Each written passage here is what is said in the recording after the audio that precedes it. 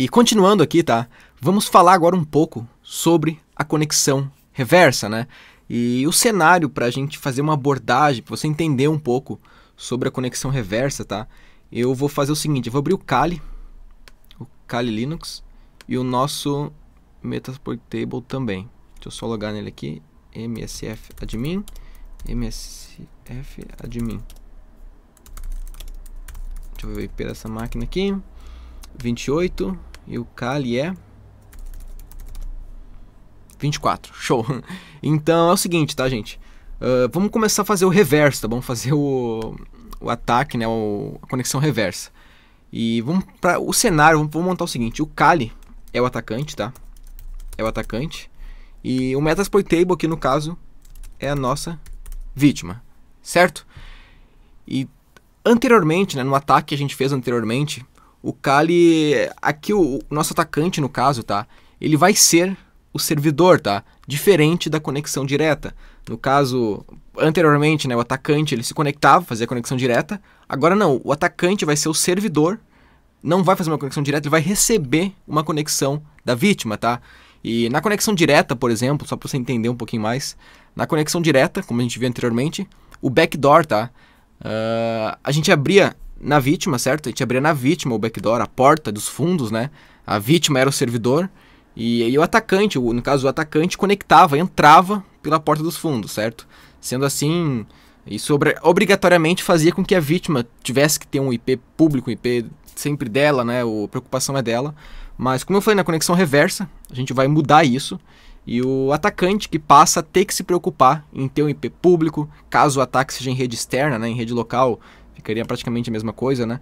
Mas o atacante teria que se preocupar em ter um, uma DNS dinâmica, né? Uma coisa configurada. E a vítima, no caso, somente iria se conectar ao atacante, né? A, a central da rede, assim, digamos, né?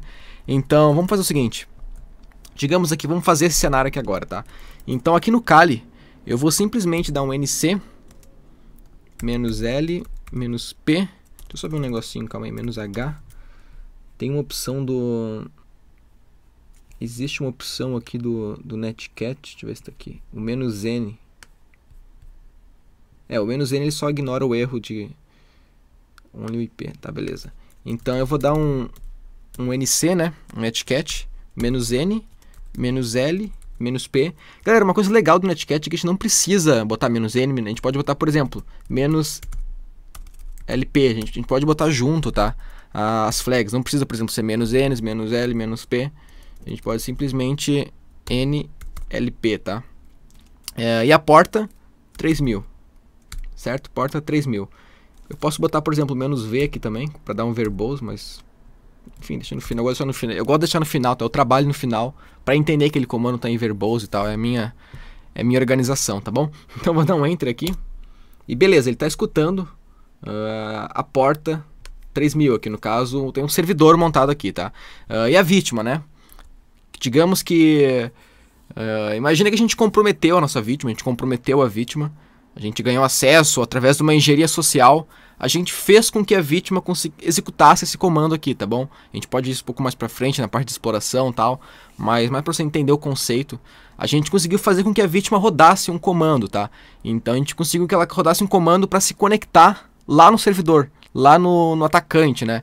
Então, um netcat aqui, netcat, Uh, o IP, no caso o IP lá da 24, no caso, 192.168.0.24 na porta 3000, certo?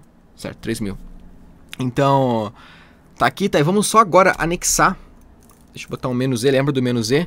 A gente vai, de alguma forma, né, anexar no cliente e não no servidor, né? Quando o cliente se conectar, tá bom? Uh, no meu servidor, no caso, o servidor atacante, ele vai jogar o Beam Bash, ele vai jogar Shell, tá? Então ele tá, ele vai, vai, vai anexar aqui jogar no, no servidor, tá? Então menos e bin bash. E cara, se esse comando aqui for rodado de forma oculta na máquina, talvez um menos em background, a gente nem o usuário, enfim, fica impercebível, tá? Então, para um usuário comum, assim, digamos, então, É bem interessante. E a maior vantagem, a maior vantagem realmente do ataque reverso, tá? É que o atacante. O atacante. É o atacante que se preocupa né, em ter uma DNS dinâmica, ter um IP público. O usuário, ele, ele simplesmente se prepara para receber a conexão, tá? E geralmente, durante o treinamento, tá? A gente sempre vai. A gente vai dar preferência a. Quando a gente for trabalhar com arquivos uh, infects, né, arquivos infectados, pay payloads, enfim, a gente sempre vai dar preferência a ataques do tipo reverso, tá? Pois a gente não precisa se preocupar em ter que conectar. Por exemplo, mais antigamente, geralmente a gente fazia uns ataques de mais baixo, mais menos luxuosos assim, né? A gente tinha que se preocupar, por exemplo, será se a vítima está online para fazer a conexão? Será se como, como que a gente fazia isso, né? Ficava cuidando no, no, no MSN. O cara entrou online, então agora eu vou conectar na máquina dele. Fiz muito isso. Então, uh, praticamente um criminoso, né, tem que ficar aguardando a, a pessoa ficar online para conectar. Aqui no caso do reverso, não, a pessoa entra online e automaticamente a máquina dela conecta no servidor, tá? Fica uma coisa rodando e, de forma de forma oculta, tá? Então eu vou dar um enter aqui.